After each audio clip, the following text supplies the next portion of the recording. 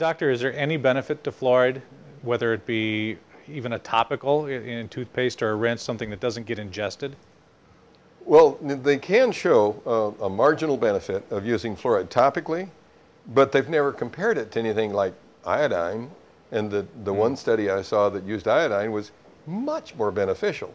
So, you know, fluoride versus nothing, uh, uh, marginal, but what if we used something that actually worked? Mm-hmm. It's not beneficial. It's, it's, not even, it's not even safe. Toothpaste contains a warning. Mm-hmm. It says, keep out of reach of children. That'd be the kind of warning you'd put on a loaded pistol or something. And if the child should swallow a pea-sized amount, you're supposed to contact the poison control center immediately. So what kind of parent's giving that to a child? Mm-hmm.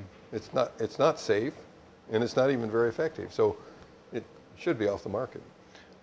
When you, when you talk about amounts, how much do we consume through the water system versus a little amount that might get swallowed during brushing our teeth?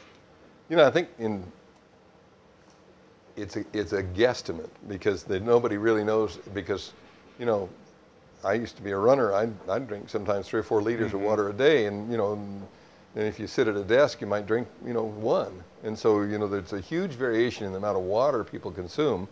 But on average, they, they guess that about half of it's coming from your, your toothpaste and uh, mouthwash, and the other half is coming from your water.